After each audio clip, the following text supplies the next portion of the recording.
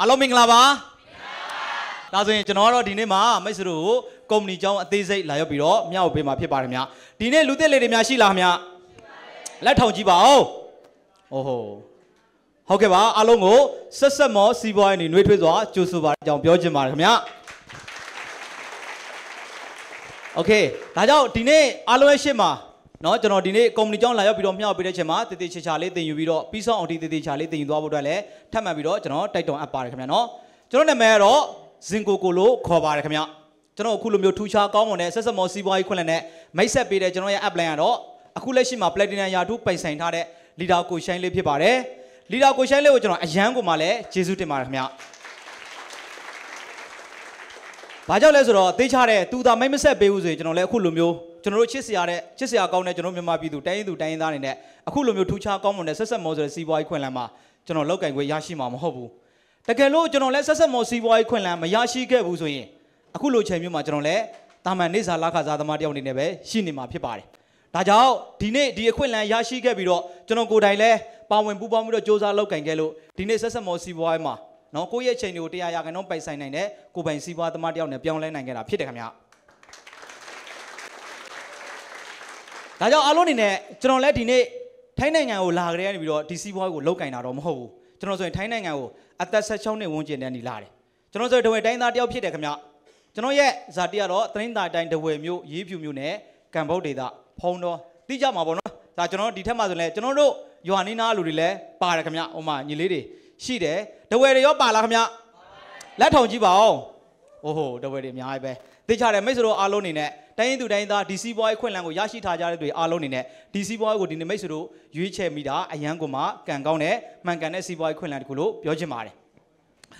ဒါကြောင့်ကျွန်တော်လည်းထိုင်းနိုင်ငံသက်ဆုံးနေဝန်ကျင်နေရနေပြီးတော့ကျွန်တော်ရောက်ရှိလာခဲ့တယ်ထိုင်းနိုင်ငံရောက်တဲ့ချိန်မှာထုံးစံတိုင်းပဲပေါ့ကျွန်တော်တို့ရေမလုပ်ရလဲခင်ဗျနေစာလောက်လာခါစားလို့ကိုကျွန်တော်လည်းလောက်ကင်ခဲ့ရတယ်ကျွန်တော်လည်းနေစာလာခါစားလို့မှာ၈နှစ်ကျော်9နှစ်တောင်မှ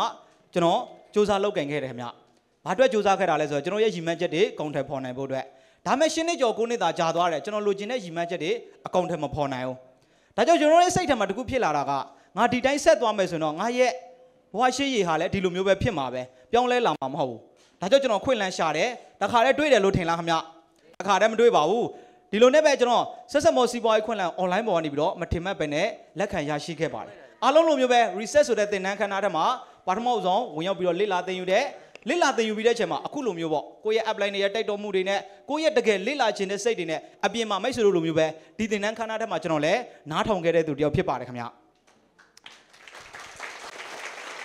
ဒါဆိုရင်ကျွန်တော်ပြပြပေးချင်တာအားလုံးနေလို့ပဲကျွန်တော်တို့တွေဟာတူတူညီညီပဲဒီနေ့ DC ဘွားမှာစတင်တယ်ဒါပေမဲ့စတင်တဲ့နေ့မှာအားလုံးတည်တည်ချာချာလေးမသိယူဘူးဆိုရင်နားလည်ပါမလား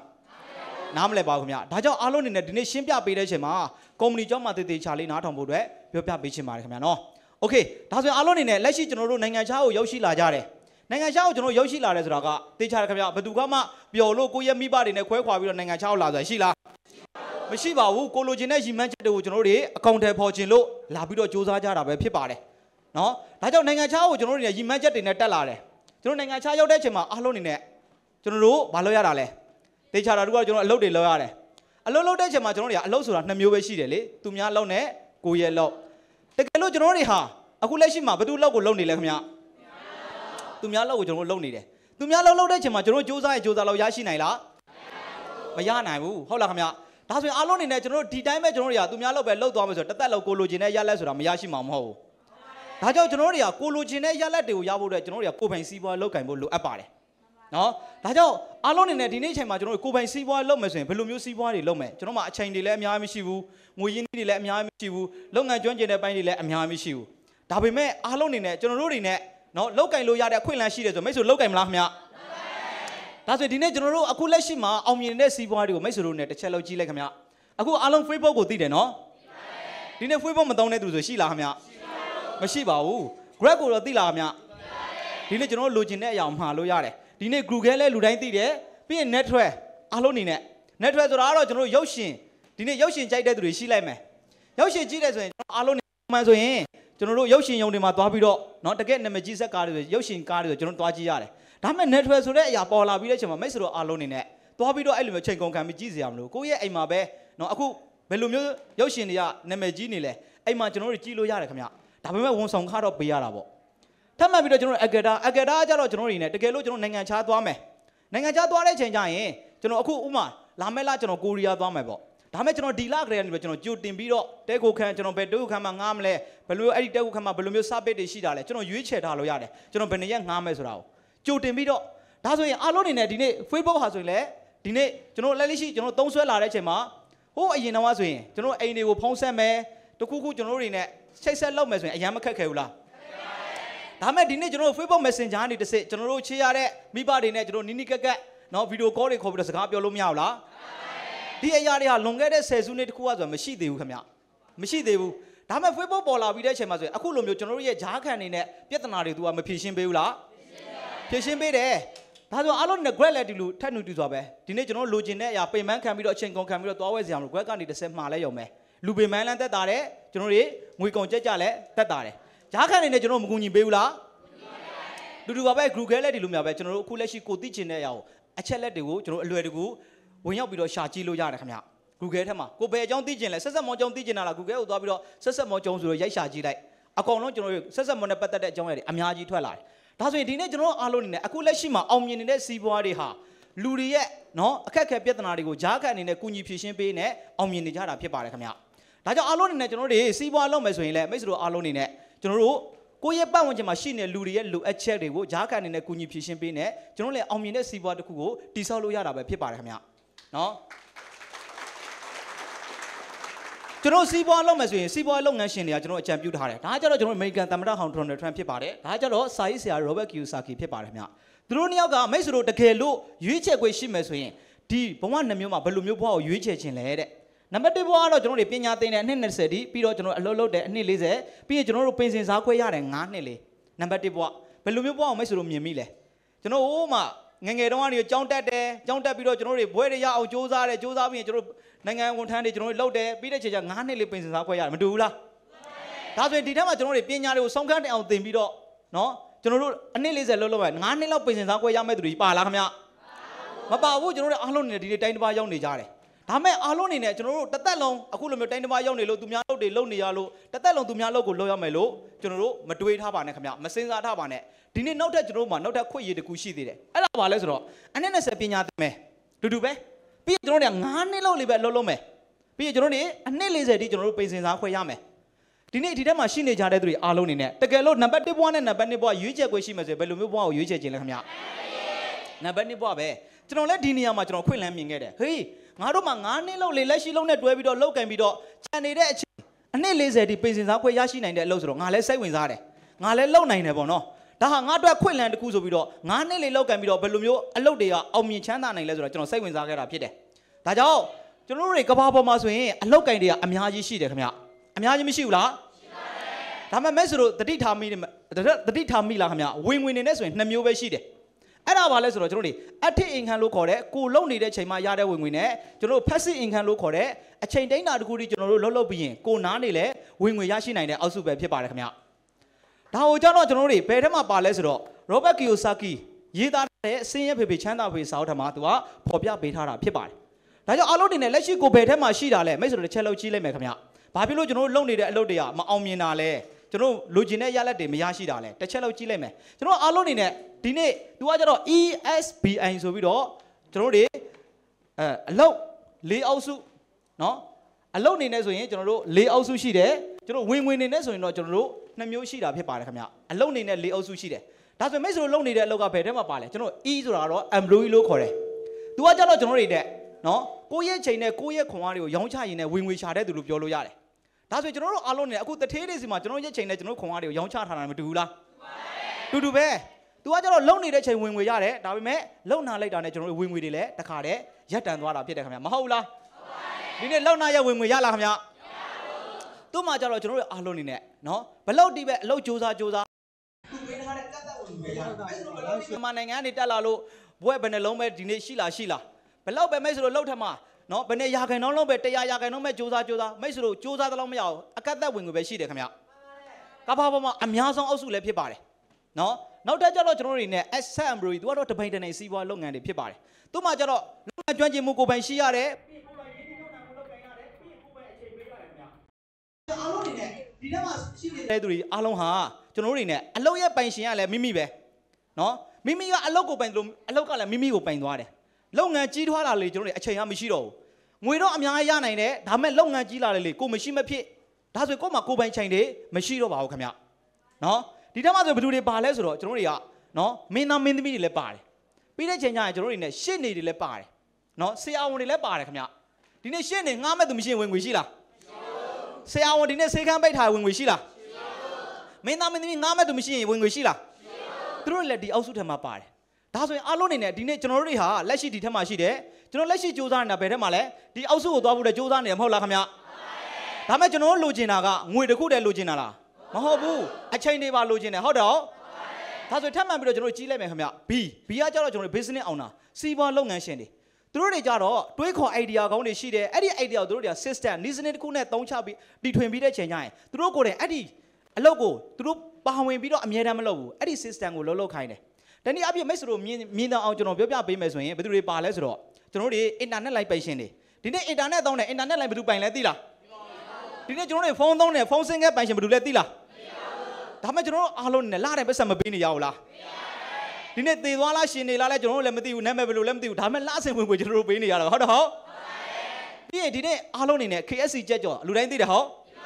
KSC ကြက်ကြော်ပိုင်ရှင်သေသွားတာကြာပြီဒါမဲ့သူဟာနီးစနစ်တစ်ခုတိဆောက်ထားတဲ့အတွက်ဒီနေ့ဒီချိန်ဒီသူ့ရဲ့လုပ်ငန်းဟာလက်ပတ်နေသေးတယ်ခင်ဗျဟုတ်တော့ဟုတ် ဒီအောက်စုမှာရှိတဲ့သူတွေကတီထွင်နိုင်မှုစွမ်းအားတွေလည်းရှိဖို့လို့သူငွေကြီးရင်းနှီးမြှုပ်နှံမှုတွေလည်းအများကြီးရှိဖို့လိုတယ်ခင်ဗျနော်ဒါဆိုအားလုံးနေနဲ့ဒီနေ့လူတိုင်းလောက်နိုင်လားပြီးရင်ဒီအောက်ဆက်ဒီအောက်စုထက်မှာဆိုရင်ကွန်ရက်စီးပွားလုပ်ငန်းကိုလောက်ကင်ကြတဲ့သူတွေလည်းပါဝင်တာပဲဖြစ်ပါတယ်ခင်ဗျ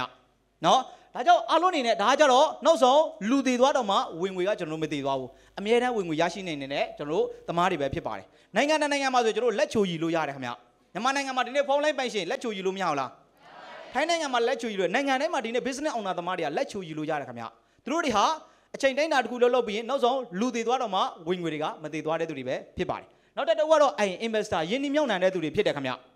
ယင်းနှမြောက်နိုင်တဲ့သူတွေကတော့သူတို့ပတ်စံရှိတယ်ဘန်မာတိုးတွေပေးတယ်ပြီးကျွန်တော်တို့နဲ့ယင်းနှမြောက်နိုင်မှုတွေလုပ်ကင်တယ်အဲသူတို့ကငွေကိုငွေပြပြန်လဲပြီးတော့ခိုင်းတဲ့သူတွေဖြစ်ပါတယ်မိတ်ဆွေတို့မလုပ်ချင်ဘူးလားခင်ဗျဒါပဲမလုပ်နိုင်ဘူးလားလုပ်နိုင်လားဒါဆိုအားလုံးနေနဲ့ဒီနေ့ email s ကကြတော့အချိန်တိုင်းတာတစ်ခုဒီ ကိုအနေနဲ့လှုပ်လှုပ်နေတဲ့အချိန်မှာဝင်ငွေရတယ်လှုပ်နာလိုက်တာနဲ့ဝင်ငွေတွေရက်တန့်သွားတယ်ဒီနေ့ B နဲ့ A ကကြတော့အချိန်တိုင်းတာတစ်ခုဒီလှုပ်လှုပ်မယ်နောက်ဆုံးကိုနားပေမဲ့လည်းဝင်ငွေကကျွန်တော်တို့မနာသွားဘူးဆက်တက်ဆက်တက်ကျွန်တော်ရရှိနေမှာဖြစ်တယ်ဒါဆိုအားလုံးနေနဲ့ဒီနေ့ ines s b နဲ့ A ဘယ်ဘက်ချန်လိုချင်လဲခင်ဗျတူတူပဲဒါပေမဲ့ကျွန်တော်ကငွေရင်းနေတယ်အများကြီးလားတီထွင်နိုင်မှုစွမ်းအားတွေရှိလားခင်ဗျဒါဆိုကျွန်တော်တစ်သက်လုံးလုပ်လို့ရမှာပေါ့ ဒါပေမဲ့မိတ်ဆိုအားလုံးမပူနဲ့ကျွန်တော်တို့ဒီနေ့ဒီဘီသမားအောက်စုထက်မှာကျွန်တော်လက်ရှိလုပ်နေတဲ့ကွန်ရက်စီးပွားဆိုတာဒီဘီသမားအောက်စုထက်မှာပါဝင်တာဖြစ်တယ်ခင်ဗျအဲမကောင်းလားအဲနော်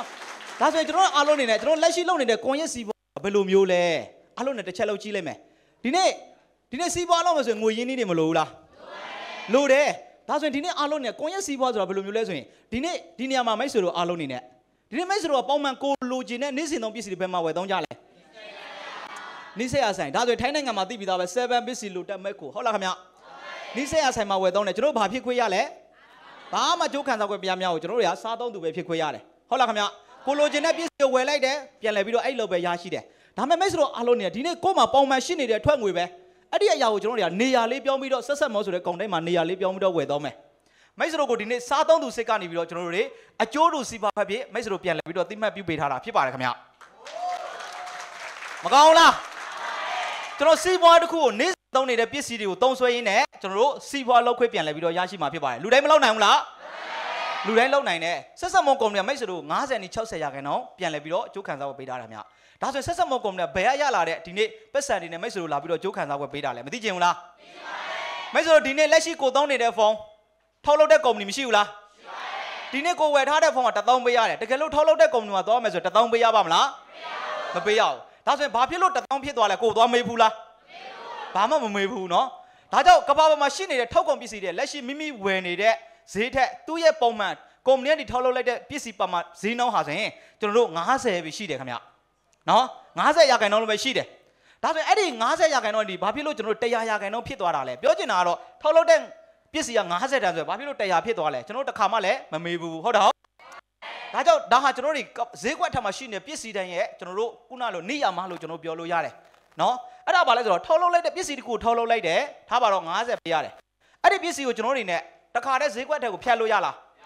မရဘူးဘာလို့ရလဲဆိုတော့အရင်ဆုံးနေကျွန်တော်ကကျင်ညာငှားရတယ်ခင်ဗျကျင်ညာငှားရတယ်ဒါကြောင့်ကျင်ညာမင်းသားမင်းသမီးတွေကိုကျွန်တော်ပတ်စံမပေးရဘူးလား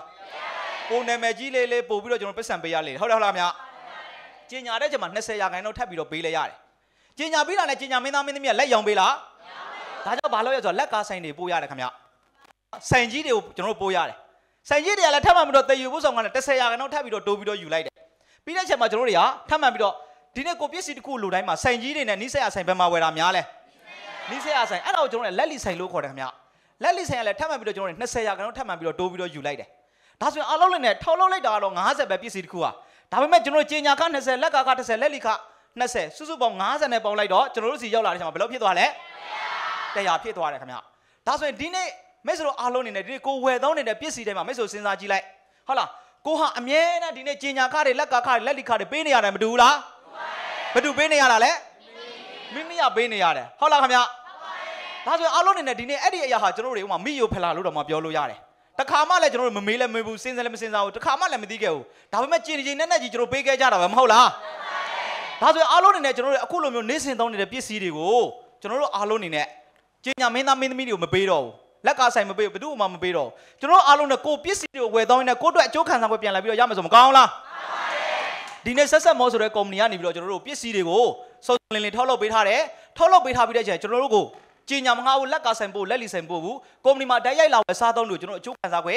ကုမ္ပဏီရဲ့ရောင်းအား90နီ60ရာခိုင်နှုန်းပြန်လည်ပြီးတော့အကျိုးခံစားပွဲပေးတာဖြစ်တယ်ခင်ဗျာ ဒါကြတော့မိတ်ဆွေတို့အားလုံးနေနဲ့တကယ်လို့ကိုဟာအပြင်မှာပဲဝယ်သုံးမယ်ဆိုရင်တစ်သက်လုံးကျွန်တော်ရဲ့စားသုံးသူဘဝတွေ့လားခင်ဗျာအင်ဂျင်နီယာလေးလှလှတယ်နော်โอเคနော်ဒီဘက်ကျတော့အမဲရောင်လေးစမတ်ကြလားခင်ဗျာပြောချင်တာကိုယ့်ရဲ့အိမ်မှာဒီနေ့လိုအပ်နေတဲ့ထောက်ကုန်ပစ္စည်းတွေကိုကျွန်တော်တို့ဝယ်ယူဆက်ဆက်မောပစ္စည်းတွေနဲ့ကျွန်တော်တို့စားထိုးပြီးတော့နော်ဆက်ဆက်မောပစ္စည်းတရားရာကတော့ကျွန်တော်သုံးဆွဲတဲ့တွေအခုလိုမျိုးလှလှပပလေးနဲ့ပိုင်ရှင်ပေါ့ရောက်လာမှာဖြစ်တယ်ခင်ဗျာမကောင်းလားပစ္စည်းသုံးဆွဲနေကျွန်တော်တို့ပြန်လဲပြီးတော့အကျိုးခံစား권ပြန်လဲပြီးတော့ရရှိတယ် ကျွန်တော်စားသုံးသူဘဝကနေပြီးတော့ပိုင်ရှင်ကိုပြောင်းလဲနိုင်အခွင့်အလမ်းပဲဖြစ်ပါတယ်ခင်ဗျာဒါကြတော့ကျွန်တော်ဆက်ဆက်မောကွန်ပါစဉ်မိုးလင်းကနေပြီးတော့ကျွန်တော်မိုးချုပ်တိသုံးဆွဲလို့ရတယ်အဲ့ထဲမှာလိုအပ်တဲ့ပစ္စည်းမှန်သမျှကိုထုတ်လုပ်ပေးထားတယ်မိတ်ဆွေတို့အောက်အောက်ကိုဆင်းတဲ့ချိန်ကျရင်ကျွန်တော်တို့တွားရောက်ပြီးတော့ကြည်လို့ရတယ်ခင်ဗျာနော်โอเคဒါဆိုရင်ဒီနေ့မိတ်ဆွေတို့အားလုံးအနေနဲ့ဒီနေ့ဆက်ဆက်မောစီးပွားရကျွန်တော် network marketing စီးပွားတစ်ခုဖြစ်တယ်နော်ဒီလိုမျိုး network marketing စီးပွားတွေမိတ်ဆွေတို့အားလုံးနဲ့သိလိုက်ပြီးကောင်းတယ်ဆိုတာဒါပေမဲ့ကျွန်တော်တို့အားလုံးနဲ့လောကမှာအတူရှိတယ်လို့မျိုးအစင်မရှိဘူးလားအစင်ရှိတယ်လို့မျိုးတူလည်းမရှိဘူးလားခင်ဗျာဒါပေ မဲ့ကျွန်တော်တို့တွေကကောင်းတယ်ဆိုပြီးတော့လောက်ကင်တဲ့အတူရောင်နဲ့တွေ့ရင်ကျွန်တော်တို့အောင်မြင်ပါမလားမအောင်မြင်နိုင်ခင်ဗျာဒါကြောင့်ဒီနေ့ဆက်ဆက်မောကုမ္ပဏီကိုကျွန်တော်အဓိကရွေးချယ်ရအဓိကအားသာချက်၃ချက်ကိုလာရောက်ပြီးတော့ပြောပြပေးသွားမှာဖြစ်ပါတယ်နံပါတ်၁အားသာချက်ကတော့ကျွန်တော်တို့တွေကကုမ္ပဏီကိုတီထောင်ထားတဲ့ကုမ္ပဏီပိုင်ရှင်တွေရဲ့အားသာချက်ပဲဖြစ်ပါတယ်ခင်ဗျာကုမ္ပဏီပိုင်ရှင်ဆိုတာနှစ်ဦးရှိပါတယ်ပထမတစ်ဦးကတော့ကျွန်တော်တို့ဒေါက်တာစထရီခရရှာဝနံပဲဖြစ်ပါတယ်သူကဒေါက်တာဆိုတော့ကျွန်တော်တို့ဆရာအောင်ပေါ့နော်သူကရိုးရိုးဆရာအောင်မဟုတ်ခင်ဗျာထိုင်းနိုင်ငံမှာဆိုရင်အရန်ကုန်မနာမည်ကြီးတယ်ဘရင်ဆေးအောင်ကြားဘူးလားသူရဲ့နာမည်ကျတော့စီရီးယားလို့ခေါ်တယ်ခင်ဗျ နော်ဘရင်ဆေးအောင်မှာသူကစီရီးယားလို့တဲ့ကျွန်တော်တို့ဘရင်ဆေးအောင်မှာပါလူကူပဲရရှိထားတဲ့သူတယောက်ဖြစ်တယ်ရိုးရိုးဆရာအောင်မဟုတ်ဘူးနော်ပြီးရင်ရာချာဘူလီလို့ခေါ်တဲ့ဆေးရောက်မှာလည်းအနာနဲ့ကောက်လေကြောင့်အထုကုမန်နေဂျင်တာတယောက်ဖြစ်ပါတယ်ခင်ဗျသူကဒီနေ့ကျွန်တော်တို့လောက်ကတဲ့ဒီ network marketing စီးပွားရေးကိုလုပ်ငန်းအတွေ့အကြုံ16နှစ်တိတိတော်မှရှိတယ်နိုင်ငံခြားကုမ္ပဏီ၃လုံးမှာအောင်မြင်ခဲ့တာဆိုတစ်လမှာ2သန်းနဲ့9သန်းပတ်တိတော်မှာအမြင့်ဆုံးရရှိခဲ့တဲ့သူတယောက်ဖြစ်ပါတယ်ခင်ဗျနော်ပြီးရင် तू ကုမ္ပဏီကိုလာတဲ့ချိန်မှာ तू တက်တော့မဟုတ်ဘူးသူရဲ့အရန်ချရတဲ့သူရဲ့တငယ်ချင်းနောက်ထပ်တူရှိပါတယ်သူရဲ့နာမည်ကကျတော့ CEO Master Notepad နီတီလေဝစ်ချစ်လို့ပဲခေါ်ပါတယ်ခင်ဗျသူလည်း network marketing ဘိုင်းဆိုင်ရာသူလည်းအတွေ့အကြုံရှိတဲ့သူတစ်ယောက်ဖြစ်တယ်ဆက်ဆက်မစီးပွားရေးမှာသူဟာ CEO တယောက်မလုပ်ကင်တော့ဆိုတဲ့တခြားသောကုမ္ပဏီမှာအောင်မြင်မှုများစွာရရှိအောင်လှုပ်ဆောင်ပေးနိုင်ခဲ့တဲ့သူတစ်ယောက်လည်းဖြစ်ပါတယ်ခင်ဗျ A1 လို့ခေါ်တဲ့ကုမ္ပဏီမှာဆိုရင်နော်နှစ်နှစ်ဆက်တဲ့ရောင်းအားကောင်းဆုံးစုကိုရရှိခဲ့တဲ့သူတစ်ယောက်လည်းဖြစ်ပါတယ်ဒါကြောင့်မိတ်ဆွေတို့အားလုံးနဲ့ကျွန်တော်ပြောချင်တာဒီနေ့ဆက်ဆက်မောစီးပွားမှာလာပြီးတော့လောက်ကင်တယ်ဒီစီးပွားရကိုဘွားမှာပထမဆုံးကိုလောက် တယ်တခါမှမလောက်ကင်ဘူးတခါမှတွေ့ကြုံမရှိဘူးဒါပေမဲ့အားလုံးအနေနဲ့မပူနဲ့ဘာဖြစ်လို့လဲဆိုတော့ဒီနေ့ဆက်ဆက်မောကုမ္ပဏီမှာဆိုဒီနေ့ company passion နဲ့ဦးရဲ့သူတို့ရဲ့အတွေ့အကြုံတွေနဲ့ပေါင်းစပ်ထားတဲ့ SL လို့ခေါ်တဲ့ဆက်ဆက်မော leadership academy လို့ခေါ်တဲ့သင်တန်းကျောင်းရှိပါတယ်ခင်ဗျဒါကြောင့်အားလုံးအနေနဲ့ဒီနေ့ဆက်ဆက်မောစီးပွားမှာလောက်ကင်ကြရရင် company passion တွေကိုယ်တိုင်သူတို့နော်တိဆောက်ပေးထားတဲ့ SLA လို့ခေါ်တဲ့နီးစနစ်နဲ့ပူးပေါင်းပြီးတော့မိတ်ဆွေတို့လောက်ကင်မယ်လူတိုင်းအောင်မြင်နိုင်တာဖြစ်ပါတယ် ဒီနေ့ဆက်ဆက်မောစီပွားမှာလက်ရှိကျွန်တော်တို့အတွေ့အကြုံမရှိပဲဒီနေ့လောက်ကင်နိုင်ကြတဲ့သူတွေဆိုတာကလည်းဒီနေ့ဆက်ဆက်မော company passion ကိုယ်တိုင်နေပြီးတော့အခုလိုမျိုးဓာတ်ရိုက်တင်ပြပေးတဲ့နီးစနစ်သင်တန်းကျောင်းတွေရှိလို့ပဲဖြစ်ပါတယ်ခင်ဗျာဒါဆိုရင်မိတ်ဆွေတို့လည်းဒီနေ့နီးစအတွေ့အကြုံမရှိဘူးဒါပေမဲ့ကျွန်တော်တို့ SLA နီးစနဲ့ပူးပေါင်းပြီးတော့လုပ်မယ်ဆိုရင်မိတ်ဆွေတို့လည်းတရားရာခိုင်နှုန်းအောင်မြင်မယ်ဆိုတာကျွန်တော်ယုံကြည်ပါတယ်ခင်ဗျာဒါတော့ပထမအာသာချက်ပဲဖြစ်ပါတယ်ဒုတိယအာသာချက်ကတော့ကျွန်တော်တို့ပစ္စည်းမျိုးစားဆောင်လင်းစွာရှိပြီးတော့ရုံခွဲတွေများစွာရှိခြင်းဖြစ်ပါတယ်ခင်ဗျာ ဒီစီးပွားရအသေးသေးလေးမဟုတ်ဘူးနော်နိုင်ငံပေါင်းကျွန်တော်တို့အခုဆိုရင်ဖွင့်လှစ်ထားတာ၈နိုင်ငံရှိတယ်ရုံခွဲပေါင်း38ရုံရှိတယ်ခင်ဗျာဖွင့်လှစ်ထားတဲ့နိုင်ငံတွေကထိုင်းမြန်မာလာအိုကမ္ဘောဒီးယားစင်ကာပူမလေးရှားဗီယက်နမ်ထပ်မိတော့ကျွန်တော်တို့ဖိလစ်ပိုင်မှာဖွင့်ထားတယ်အနာဂတ်မှာဆိုကျွန်တော်အင်ဒိုနီးရှားနဲ့အိန္ဒိယနိုင်ငံတွေမှာလည်းဖွင့်လှစ်ဖို့တဲ့ပလန်ကြိုတင်ပြီးတော့ရှိထားတာဖြစ်ပါတယ်ခင်ဗျာဒါကြောင့်ကျွန်တော်စီးပွားလုပ်တဲ့နေမှာမလွယ်ဘူးလားနိုင်ငံတကာနဲ့ရှင်ပြီးကျွန်တော်လောက်ကင်လို့ရတဲ့စီးပွားရေးခွင့်လန်းတစ်ခုဖြစ်ပါတယ်ပြီးတဲ့ချိန်ကျရင်အခုလိုမျိုးရောင်းတိုင်းရောင်းတိုင်းမှာဆိုလဲ မိတ်ဆွေတို့အားလုံးနေအခုလိုမျိုးရောင်းတွေဖွင့်ထားတာကုမ္ပဏီပိုင်ရှင်ကိုတွေကတရားရာခိုင်နှုန်းရင်းနှီးမြှုပ်နှံထားတယ်ခင်ဗျကျွန်တော်စီးပွားလောက်ကင်တဲ့သူတပြားတစ်ချက်မှစိတ်ပြီးတော့ကျွန်တော်တို့ share ဝင်ပြီးတော့ခုနလိုမျိုးငွေစိတ်ပြီးတော့ကျွန်တော်တို့မလုပ်ဆောင်ရဘူးခင်ဗျမကောင်းဘူးလားကုမ္ပဏီပိုင်ရှင်တရားရာခိုင်နှုန်းရင်းနှီးမြှုပ်နှံထားတယ်ပြီးရင်ရောင်းတိုင်းရောင်းတိုင်းမှာဆိုလဲအခုလိုမျိုးကူညီပေးပေးမဲ့ဈေးမလေးတွေလည်းခက်အပ်ပေးထားတယ်ပြီးတဲ့ချိန်ကျစီးပွားလောက်ကင်တဲ့သူတွေဆိုရင်လည်းအခုလိုမျိုးကျွန်တော်တို့လောက်ကင်ရတာလွယ်ကူအောင်သင်တန်းခန်းသားတွေကိုလည်းအစင်သစ်ကျွန်တော်တို့အခုလိုမျိုးစီစဉ်ပေးထားတာပဲဖြစ်ပါတယ်ခင်ဗျ ဒါဆိုရင်ကျွန်တော်စီးပွားဈေးကွက်ချိုးဖောက်တဲ့နေရာမှာမလွယ်ကူလားကုမ္ပဏီပိုင်ရှင်အကောင်လုံးကိုကျွန်တော်အစင်သစ်လုပ်ထားပေးတာလေမကောင်းလားခင်ဗျဒါကတော့ကုမ္ပဏီရဲ့အဓိကကျွန်တော်တို့ဒုတိယအာသာချက်ပဲဖြစ်ပါတယ်နောက်တစ်တတိယအာသာချက်ကတော့ဆက်ဆက်မောကုမ္ပဏီဟာကျွန်တော်တို့တရားမျှတမှုရှိတယ်ခင်ဗျာကုမ္ပဏီပဲရှင်ဟာပြောချင်တာကအလုံးမှာမှာတိဆောက်တဲ့သူကအကျင့်စာရတာကောင်းမွန်ပြီးတော့ကိုကိုကြီးတိတ်ခါကောင်းမွန်ပြီးတော့ pride စိတ်ရှိတယ်လူတိုင်းပေါ်မှာကျွန်တော်တို့ခွဲခြားဆက်ဆံတာမရှိဘူးဒန်းတူဆက်ဆံတယ်ခင်ဗျာထိုင်းလူမျိုးဖြစ်လို့ မြန်မာနိုင်ငံသားဖြစ်လို့နိုင်ငံခြားသားဖြစ်လို့အဲ့လိုမျိုးခွဲခြားဆက်ဆံမှုမရှိဘူးဆက်ဆက်မိုးစီးပွားမှာလာပြီးတော့စ조사လောက်ကင်တဲ့သူအားလုံးပေါ်မှာဒန်းတူဆက်ဆံတာပဲဖြစ်ပါတယ်ခင်ဗျာမကောင်းလားအရန်ကောင်းမွန်တာပဲဖြစ်ပါတယ်ဒါကြောင့်ကုမ္ပဏီပိုင်ရှင်ဒေါက်တာစရိယာဆိုရင်ထိုင်းပြည်မယ်တော့လူမှုကူညီရေးတင်မှာအနှစ်20တိတုံးမှာစေကူသားလူတန်းမှုကိုအခမဲ့ကူညီပေးခဲ့တဲ့သူတယောက်လည်းဖြစ်ပါတယ်အခုလက်ရှိမှာဆိုလဲသူကိုယ်တိုင်နယ်တွေကိုဆင်းပြီးတော့နော်တစ်နှစ်မှနှစ်ကြိမ်အမြဲတမ်းအခမဲ့စေကူသားလူတန်းမှုကိုလှုပ်ဆောင်ပေးတင်တဲ့သူတယောက်လည်းဖြစ်ပါတယ်ဒီထဲမှာ brighter side ရှိတဲ့သူတွေရှိလားခင်ဗျာ မိတ်ဆွေတို့အားလုံးနဲ့ဆက်ဆက်မောကုမ္ပဏီပိုင်ရှင်ဒေါက်တာနဲ့ပတ်သက်ပြီးတော့မိတ်ဆွေတို့တသက်လုံး brighter လောက်ကန်ပြီးတော့စီးပွားပါလုပ်လို့ရခင်ဗျာမကောင်းလားဒါကတော့ကျွန်တော်တို့တာတီယာကျွန်တော်တို့ရဲ့အားသာချက်ပဲဖြစ်ပါတယ်ဆက်ဆက်မော်စီပွားရေးဟာကျွန်တော်တို့အခုလိုမျိုးထိုင်းနိုင်ငံမှာဆို TTSA လို့ခေါ်တဲ့ Pure Network Marketing Site ကိုလည်းရရှိထားတဲ့ company တစ်လုံးပဲဖြစ်ပါတယ်ဒါကြောင့်မိတ်ဆွေတို့အတုလားအစ်လားမှန်ကန်လားမိတ်ဆွေတို့စိတ်ပူစရာလို့လားမလို့ဘူးမိတ်ဆွေတို့အခုလက်ရှိဆက်ဆက်မော်ရဲ့ one page ထဲကိုရောက်နေပြီပဲဖြစ်ပါတယ်ခင်ဗျာတွေ့ဝင်နေကြလို့သေးလားလို့ဘူး ဒါပြင်တခြားသော company တွေနဲ့ကျွန်တော်တို့ကွာခြားချက်ဘာတွေရှိလဲထပ်မှန်ပြီးတော့ကြည့်မယ်ခင်ဗျပြီးရင်ကျွန်တော်တို့ဆက်ဆက်မောကုမ္ပဏီရဆိုရင်အများပိုင်ကုမ္ပဏီထုတ်ကန်ချက်စာချုပ်တွေပြီးရင်စားသုံးသူတို့ကွာခွဲတဲ့ထုတ်ကန်ချက်စာချုပ်တွေကိုလည်းအပြည့်အဝရရှိထားတဲ့အတွက်မိတ်ဆွေဆက်ဆက်မောထုတ်ကုန်ပစ္စည်းကိုယုံကြည်စိတ်ချစွာနဲ့သုံးစွဲလို့ရပါတယ်ခင်ဗျဒါပြင်နောက်တစ်ခုကတော့ဆက်ဆက်မောကုမ္ပဏီကထိုင်းနိုင်ငံမှာဆိုရင်နော်ထိုင်းနိုင်ငံမှာအခုကုမ္ပဏီတွေဆိုရင်လက်ချူယူလို့ညလောက်အများကြီးရှိတယ်အဲ့ဒီအများကြီးရှိတဲ့ထဲမှာမှကျွန်တော်တို့နော်တလလဆက်လို့ခေါ်တဲ့ ကျွန်တော်တို့အစုရှယ်ယာတွေကိုဒီနေ့အယောင်းဝယ်လုပ်တဲ့နေရာအဲ့ဒီနေရာမှာသွားပြီးတော့ရက်တည်နိုင်တဲ့တခုတည်းသော network marketing company ဖြစ်ပါတယ်ခင်ဗျာမကောင်းလားဒါကြောင့်အားလုံးတွေဒီနေ့ company ဟာကျွန်တော်တို့နေရရှိအောင်မြင်မှုရရှိနိုင်ရဲ့လားမှန်ကန်ရဲ့လားတိကျရဲ့လားမိတ်ဆွေတို့ပူစရာမလိုအခုဖွင့်လှစ်လာတာစနစ်နှစ်ဆိုတဲ့ဝန်ကြီးဒါကြောင့်ဒီနေ့မိတ်ဆွေတို့ပထမဆုံးဒီစီးပွားရေးကိုလောက်ကင်ဘူးတယ်ဆိုရင်လည်းမိတ်ဆွေတို့ဒီပထမဆုံးရွေးချယ်လိုက်တဲ့အခွင့်အလမ်းဟာတရားရာကတော့မှန်ကန်တဲ့စီးပွားရေးခွင့်လမ်းဖြစ်နေပါပြီခင်ဗျာ တန်းနေဘွားစီတော့ကိုရေချင်းတီထိုးပေါဖို့ဒါလူတိုင်းအတွက်ခွင့်ရတခုနောက်နေတဲ့ကဘာရဲ့ခက်ခဲသောဘွားတို့စီအိမ်မက်တွေတကယ်ရောက်ခဲ့ပြီယုံကြည်ချက်သူရည်မှန်းချက်သူမိသားစုတခုကဘာမြေတခုက success more success more တူပြန်တမ်းမမြင်တဲ့မြင်ဆုံး success more success more ညီသူမဆို zero my hero everyone can be zero to hero